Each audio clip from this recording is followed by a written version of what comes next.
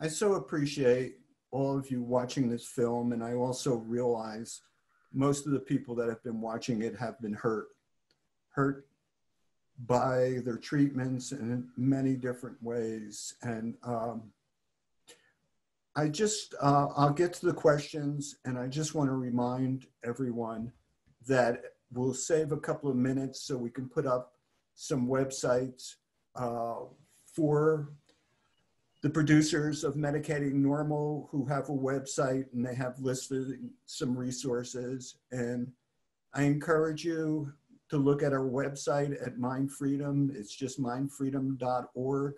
Call the office if you want to check out something or you want to do something of meaning in helping Mind Freedom. We're small, but we're expanding and we're fighting a really, really big battle. So let me just go through uh, who the panel is and let them introduce themselves, and then we'll get to the questions. Thank you for hanging in there and sticking around. Angie, would you like to start? Sure. My name is Angie. Um, you saw my story in the film. I'm now four and a half years off of meds. I just went back to school and kind of as a way to distract myself during the healing because it was so brutal. But I earned my master's in social work and I did it like as a double agent to learn their language so that I could fight back on the outside when I got done. So now I'm just um, doing a lot of community organizing, helping facilitate these discussions all across the country. I've been traveling in an RV until the pandemic happened. So I just look forward to everything y'all have to say. Thanks. Cindy, would you introduce yourself? Um, sure. Uh, my name's Cindy. Um, I'm a psychiatric survivor, member of Mind Freedom Seattle, nutritional therapy practitioner, and advocate for alternatives to psych drugs. So my story, um, in 1999, I sought help from a doctor for an upset stomach that I'd had for many years. And he told me I had an anxiety disorder, needed to take a drug for chemical imbalance. I was prescribed Effexor and I thought the doctor was the expert, so I followed his suggestion and took it. And then over the months and then years, my body actually felt worse, um, including but not limited to feeling more anxious. My stomach was more upset, and then my body felt exhausted. And the only thing the doctor ever did when I shared that I felt worse was just to increase the dose. And then eventually the benzoclonazepam was added but still everything continued to get worse. And then a friend shared the book Anatomy of an Epidemic. Um, it was talked about by Robert Whitaker. It was mentioned in the documentary that explains how the drug can create anxiety and other problems. And so this book was the beginning of me learning that I do not have a chemical imbalance in my brain and that psych drugs are not fixing something that is wrong with me, which I had suspected but had pushed aside my inner wisdom. So then I decided to withdraw from the drugs, and I'm now six years off of them. And my mojo is back, which is exciting. Um, however, my withdrawal experience was horrible, and I did not receive support or accurate knowledge from doctors to withdraw and detox safely. But um, my belief is that my anxiety was a normal reaction to my circumstances, not a chemical imbalance or pathology. And this has helped me begin the exploration of learning what my anxiety is telling me and then what I can do about it. And so, what has been helpful for me is discovering the root cause and messages of anxiety, eating nutritiously, being aware of and standing up for my values, doing self actualization work such as behavior pattern awareness, shadow work, discovering my inner locus of control, connecting to my inner wisdom, and taking charge of fulfilling my needs by finding choices that fit my energy and values. And all of this has empowered me to be more centered, present, and at peace. Thank you, Cindy. Celia, would you please introduce yourself? Hi, everyone. My name is Celia Brown. Um, I, I, really enjoyed the film. Um, and I'm a psychiatric survivor and I'm the board president of Mind Freedom International. I'm also the co founder of Surviving Race, the intersection of injustice, disability and human rights. Uh, I started on this journey when I was um, like 16, 17 years old. I was having some some problems with depression and some traumatic events in my life where I was in, um, involuntarily committed to an adolescence unit. And just from there, I was experimented on on drugs. Nobody ever asked me how I felt, you know, uh, just like Angie was saying in the film. Uh, so just all these different cocktails of meds that really uh, messed me up for a while. And so I realized that I had to really understand myself and what these drugs were. And eventually I was tapered off. Um, I mean, I was on Haldol, Thorazine, you know, uh, with Ritalin. That, that combination was horrible. Uh, and then lithium, which I can say has really kind of helped me at, at the beginning, but then I, I couldn't stay on it long term. So during my journey, um, I was in a housing program and I was invited to go to a conference called Self Help Vision in Troy, New York, near Albany. And I was considered like uh, one of three people as high function, in quotes. So I went to the conference and I was blown away. I met, I met Judi Chamberlin, who's um, an act who was an activist in our consumer survivor ex-patient movement. I, I met um, Harry the Harp and, and Joe Rogers and Ed Knight, and so many people who were working on alternatives to the mental health system and to services, that they were creating alternatives for themselves, for others. And I um, remember asking Judi, like, who's allowing you to do this? and she says, no one. We, we have, we're empowered to do this. We have rights and, you know, and I went back to my housing program, started to, to do community organizing of the residents that were there. My life, my life has completely changed because I always knew that something was different but wasn't around like-minded people to really exercise my own beliefs. It was more of the medical model that I had to, you know, subscribe to. So I, uh, you know, I, I, constantly work on my own recovery, and I, I also want to say that's helped is reading articles at the time and newsletters.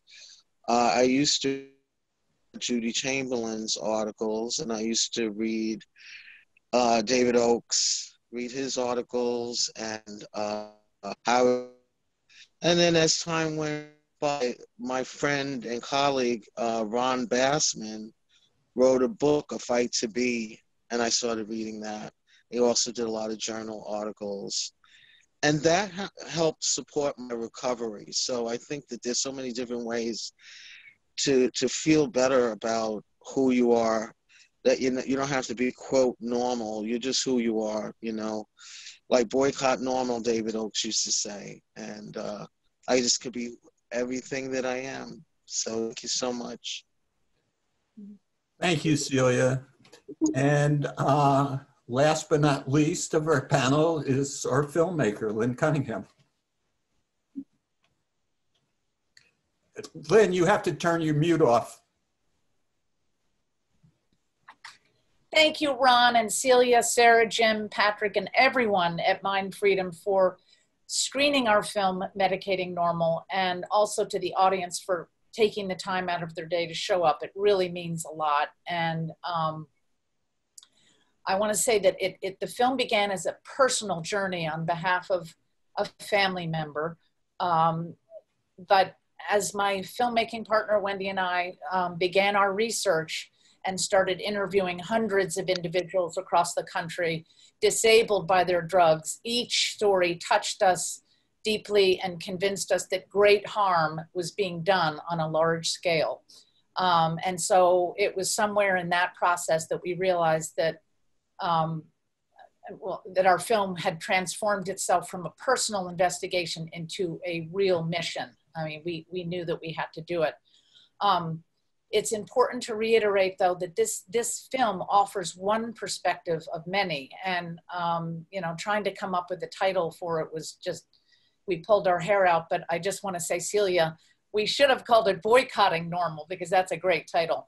Um, but um, we feel it is one perspective. There are so many different perspectives out there on this topic um, having presented it at five festivals um, this past year since January, more than 75 community screenings nationwide.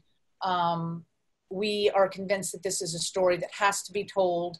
Um, it is one that is not necessarily being acknowledged by the mainstream. Um, so we, have got to we've got to tell it and we've got to talk about it and that's one of the, the best parts about the film is that the conversation afterwards and everyone brings up different aspects different perspectives. Even disagreeing with us is really really important to us because it's just it's it's putting it into the public realm that matters the most. Um, and finally you know we're asked oh gosh will this film convince people who really need their meds to go off of them? And you know whatever one believes about that uh, that that is not our mission. Our mission is that we want to encourage thoughtful and informed decision, making before someone decides to go on medication and um, as a society to think about and talk about these things and also thoughtful decision making before someone chooses thoughtful and informed decision making before someone chooses to go off of a med.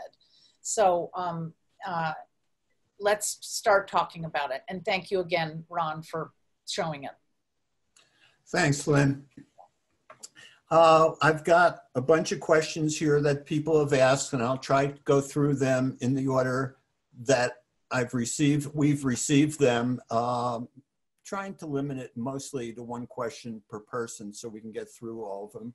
Uh, this question was not addressed to anybody in particular, but to the panel. And it was, the question is, so what is the key to break the lock that psycho slash pharma has on our minds and social thinking? How can we change the paradigm that has the weight of 80 billion a year behind it? Mad in America is a start, but it is still about 79 billion behind. Does anyone want to take that?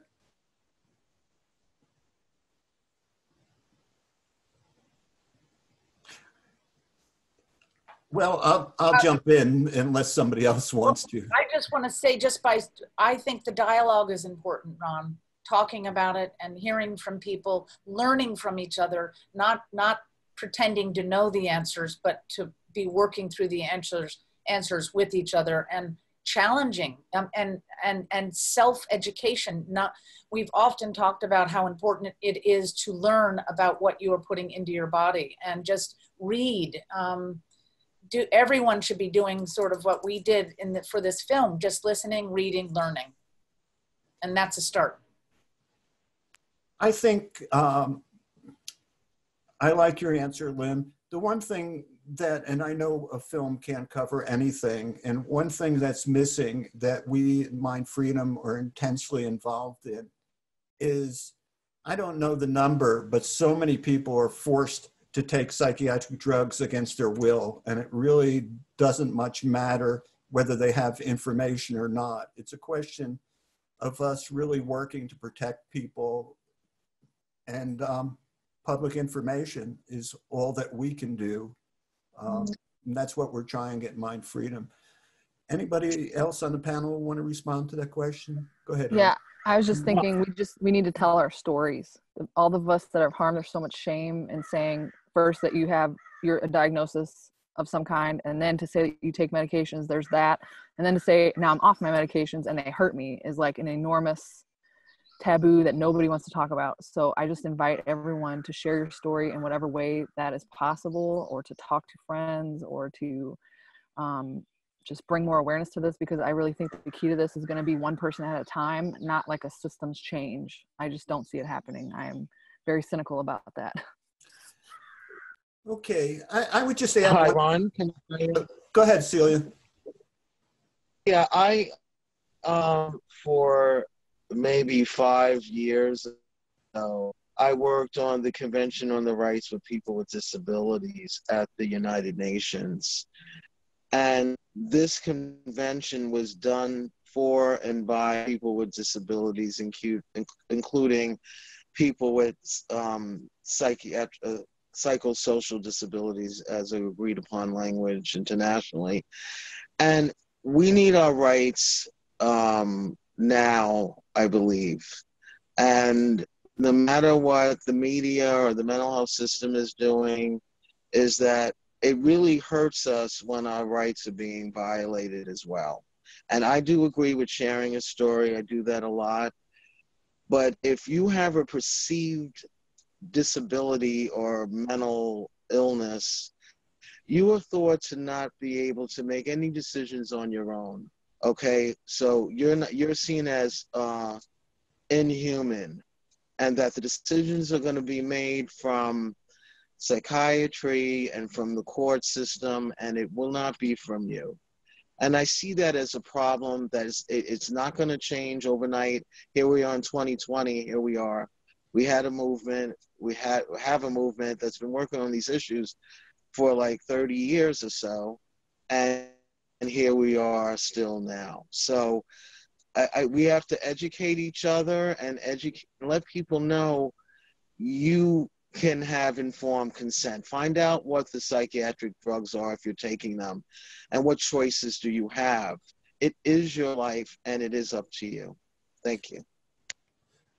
Okay, I, I can't help but saying that we're working on right now at, at Mind Freedom. It, this is a very big issue and we're in a phase of history, a period of time where there are other movements going on that there's an opening and things can get better and they can get worse. And what we are trying to do is join together with other groups, with cross disability, with Black Lives Matter, and groups that are advocating for rights. And the la- last thing I can say about this is we need to get rid of congregate living, whether it's a nursing home, an adult home, a prison, a psychiatric hospital. These don't help. We need to bring people back in their communities. And that's when we'll have more choice and we'll have more rights. But we have to band together in these common themes, is what I'm seeing. And it's a long, long journey. Okay, the next question um, Is this film available to be shown by Julie Sherman? Um, Lynn, do you uh, want or Angie answer that? Our current, uh, we we are, yes, the film is available, but it in community screening events like this for this year, and then um, in at about January we will be making um, deals to have it be available as a streaming event. Um, and hopefully broadcast. We're hoping very much to broadcast it as well, um, maybe on PBS. Um, but the important part of this phase is that it's communal screening with discussion afterwards. Um, there are many different kinds of groups that we want to do this for. Medical schools, um, that will be hard, but we really want to do that. Um, and, you know, the communities that matter, the stakeholders, you know, all different kinds of communities. So I urge anybody watching the film who wants it to be screened for their community or knows of a community who might benefit from it. Um, that's most important to us right now. But it will be available. Um, we need to have it unfold. Thank you. Uh, another next question is where are the doctors from in the film? Are they all from the East Coast?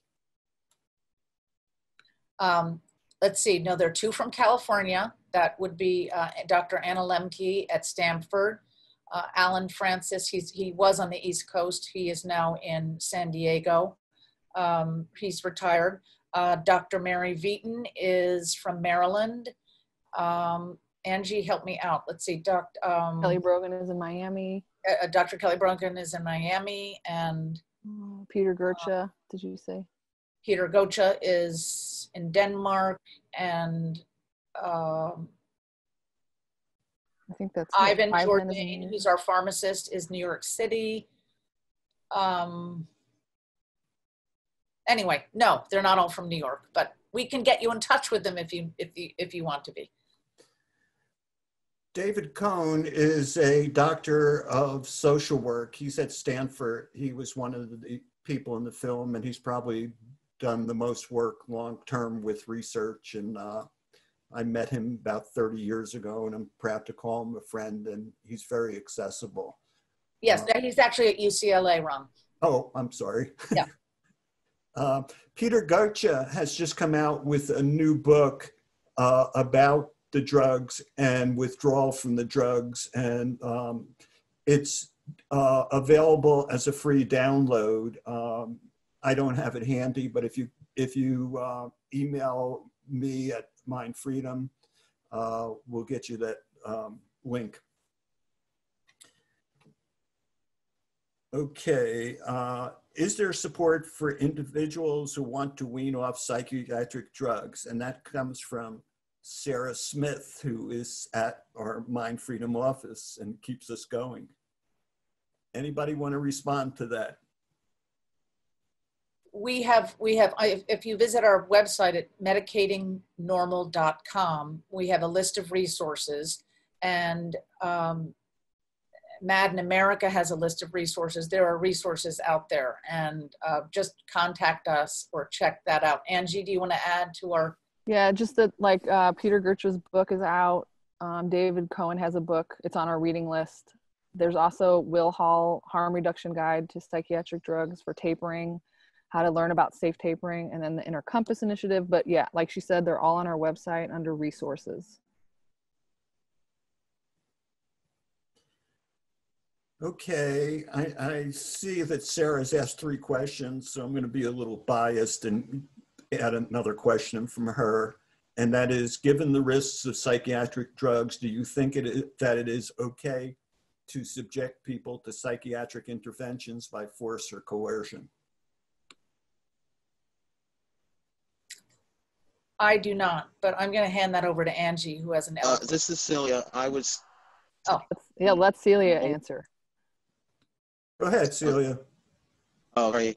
Uh, no, I I I think um, I think we have to constantly change the paradigm shift. And Sarah, you do a lot of education of people that contact office or email you because it's still a lot of family members and and peers and psych survivors really don't know about this and that they can um, work on um, you know other alternatives or ways to stop the force from happening. And I'll, I'll let Ron talk about SHIELD. But um, we have to constantly educate each other because we can't assume that all of the world knows that they can have a choice and they can do informed consent. I'm not saying it's easy because it's not. You can be forced.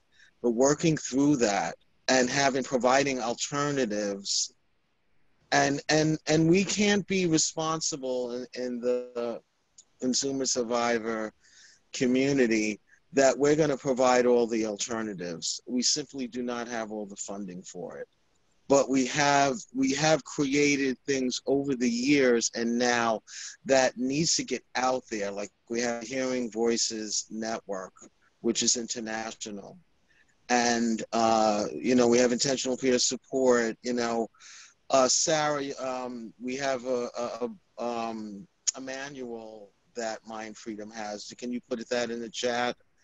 That's very valuable to learn about a lot of these alternatives. Angie, did you want to add something? No, that was perfect. It was perfect. Okay. I would, I just remember a statement by Judi Chamberlin, who was probably one of the first people in our movement and created um, the great book on our own that talked about support from within, that we needed to support each other. And she would say, if I go into the hospital and I have cancer, I can refuse cancer treatments because I don't want them because the side effects, even if it'll kill me, but if I go into a psychiatric hospital, I have no rights to make that choice. And just a little uh, aside, I have a film called Crazy Women that I need to get converted into digital. that has the founders of the movement. And uh, they're sitting around in Rae Unzicker's home discussing what it's like. And some of these issues continue today. And once I get it digitalized, I'm hoping to show it as we did this one. Okay, uh, this comes from Ben Cooley Hall. And Lynn, thank you for you are part of this powerful film. I am so glad that you made it. It is so desperately needed. My question, do you have any interest or plans to make a similar film, possibly called Medicating Abnormal? Another title. Um, we are so dedicated to getting, there's so much to talk about with this film that most of our resources at the moment are, are tied up with, with getting this film out there um, as many places as we can. We would love to make another film, but resources are thin at this very moment. And I also feel that the discussion is only beginning to happen. So um, maybe in about a year we'll start to think about it. But for now, um, we are dedicated to this. But um, thank him for his support and um, keep sending ideas. Maybe he should make a film. We're encouraging other filmmakers to take up the mantle. Yeah. Um, okay. Next question from Holly Martin. I feel like such a newcomer to this movement. Would your panel consider clarifying what is meant by a psychiatric survivor for those who might not know or even outsiders who may see it as such a minority. Also, what to say to those having to take medication and lost that choice when locked up?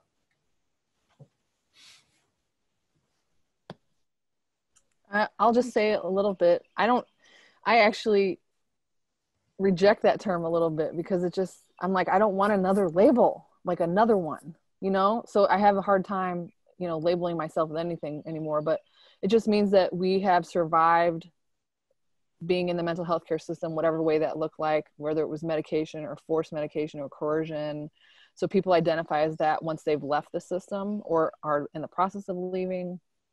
And then to say people that are being forced right now what would i say? It's pretty controversial. I would say oh god i'm scared to say it but i would say just Don't tell them what they need to hear and get the hell away. Be nice obey get the hell away from them and get your life back. That's what i would say. You know i just want to add um, go ahead Cindy. psychiatric survivor to i'm with angie and i don't want another label but one thing that has helped me is empower me because the psychiatry system disempowered me. And so by saying that I'm free from it, I don't know, it's sort of liberating that I'm not reliant on it um, in, in that way. Language is, is tricky. It can be something that expands who you are or diminishes who you are. I would suggest, Holly, as a newcomer, we have a free downloadable book that we did this past year um, and it, one of the chapters deals with the history of our movement. And you may get a much better understanding from reading that. And it's, it's really for organizing and joining together. And um, Sarah, if you're on, why don't you type in in the chat um, how to get that? And if it doesn't come through, then you can just go to our website and you can find it on there. There's also a hard copy that we've reserved for people who are in an institution and don't have access to downloading it. The next question is from Ann Casper. Angie and Cindy, how did you pay for the medications? Were they totally covered by insurance? Did you have big copays? Um, my copay was about $20 a month for the medications? Um, yeah, that's that speaks to an issue of access, and unfortunately, I have the best access to healthcare anybody can get because of the Veterans Affairs and for Medicare for Social Security. So my increased access led to more medications, so everything was free all those years. It's not necessarily a good thing. Next question comes from Gabriella Corluca Kamenicki. questions for Angela. What is your game plan going forward to dismantle psychiatric and pharma conspiracy and racket? Right now, this is my game plan. I have to continue healing because I'm still pretty damaged by this, like pretty traumatized by um, looking back at my life, thinking that, you know, even five years ago, I would have said the meds were helping me and they saved my life, and don't you dare talk about them in any kind of way um, so i'm still healing but i think as i heal i'm able to do more. Um, so this this type thing is what i live for. I had the opportunity to be like a one-on-one therapist and i just refused. I was like no i don't want to speak to one person for one hour. I want to speak to a, what 92 right now.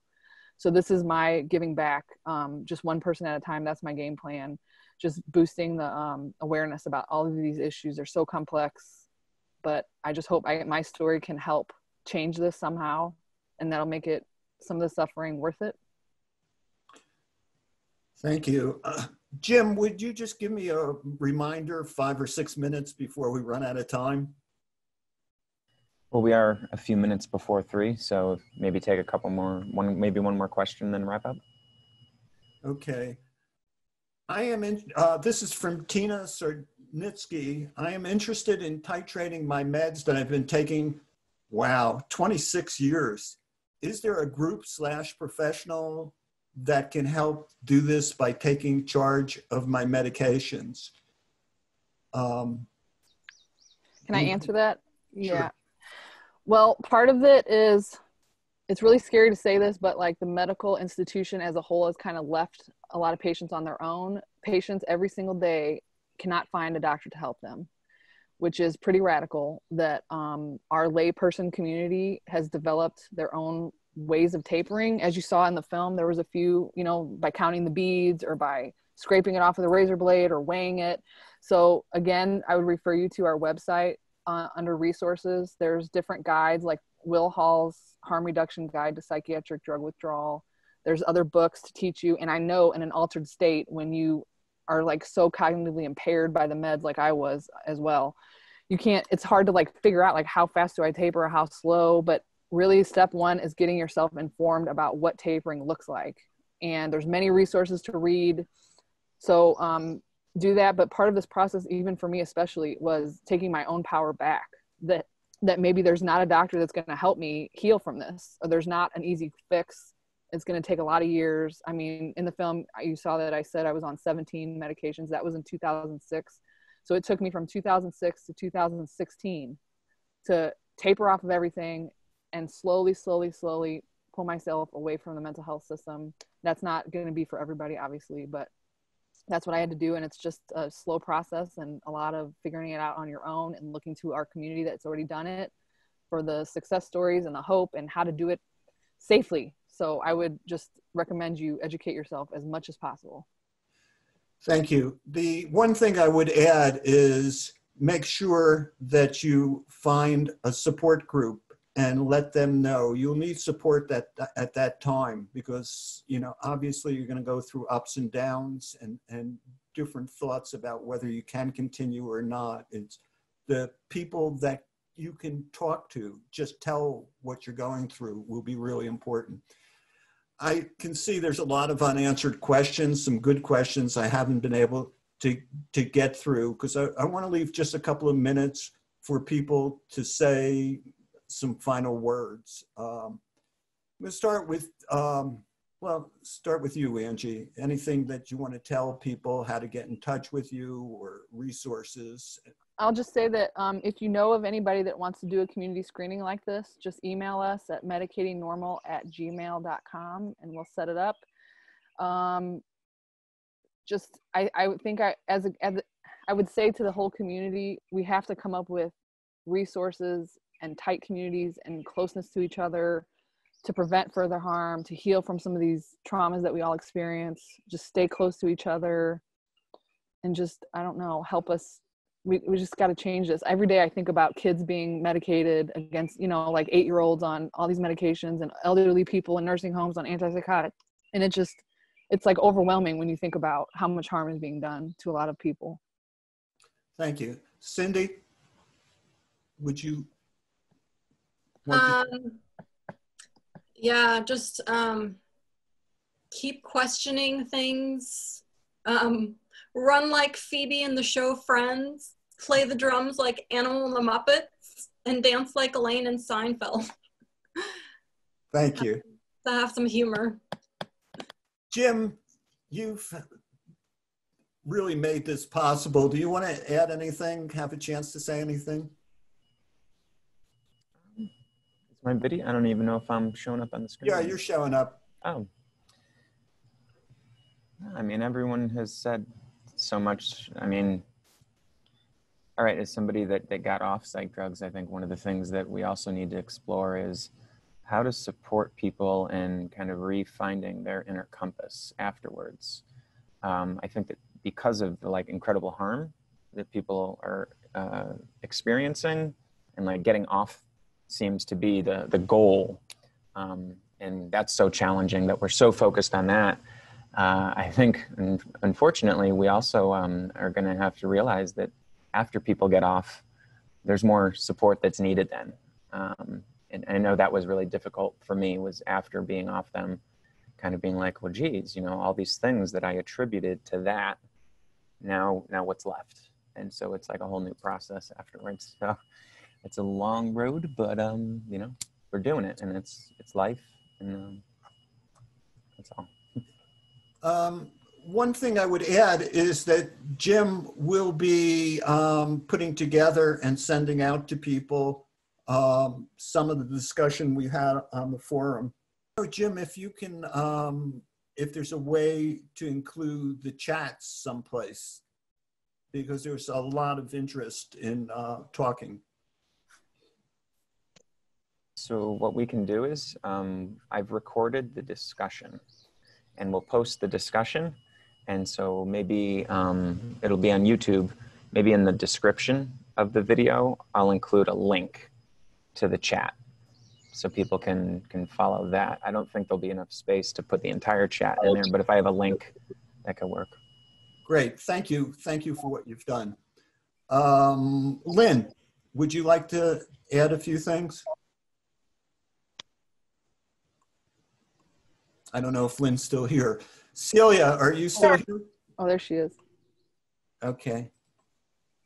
I just want to say gratitude, gratitude for the team, our team in the making of this film, gratitude to every single person that we met along the way, even if they're not in the film, they still played an enormous role in the making of the film. Gratitude to our subjects in the film, um, our supporters. It's just, I, I think what it is is that when you come together and do something like this, it expands your world. And I think that relationships are really, really important and they are healing and they can get you through bad times. And I just, if anyone was going to say, my, my beloved family member who began the journey, um, she's not off all of her meds, she's reduced a lot of them and is in a much better place but I think what really helped her um, was because she is in a loving relationship and um, the support. And so surround yourself, if your family doesn't work, surround yourself with your friends who are loving and just get out there and do stuff like this and listen to each other's stories. Celia? Yeah, I just want to thank the filmmakers and Cindy Angie Lynn and Ron and Jim, also Sarah Smith. I think this is very enlightening for me, although I've seen a lot of videos similar, but not quite like this. And I think that it, it, it gives the notion that people have started out taking psychiatric drugs and really wanted to help themselves and it didn't work out. I also want to say that I was very happy to see Shalimar, who's a black woman from New York, and I'm from New York, talking about her experiences. Um, I think there needs to be, uh, and we're working on it, is an intersection of people of color uh, in in our movement um, and other movements, and we need to partner um, the psychiatric survivor movement, with the Black Lives Matter movement, and other movements that are coming up, so we can fully understand what is the intersection of all of these different issues. We're not there yet, Okay, but uh, I'm I'm certainly working on it, and some of my colleagues are working on it, and it, it really promotes uh, healing. So I just want to give kudos to, um, you know, the film and to everybody who's on the call today. I think this was just very very healing for me, and I and I hope that it's going to be for others in the future. Thank you. Thanks, everybody. Thank you all on the forum. Thank you, Jim. Thank you, Patrick, for signing for us. And um, I hope that this is a tough film to watch for many of us who have been through these experiences, but I hope you will see some way to join and change what is happening to much, much too many people and um, we'll continue to work on it. This is a journey where we have to let go of the perfect. We'll never be perfect, but not lose the sight of the good things that we can do. So please join with us. And thanks again. I'm really glad that this film was made, shown, and for all the people who are watching. So, so long, and we'll notify you about the next film. Bye, everyone.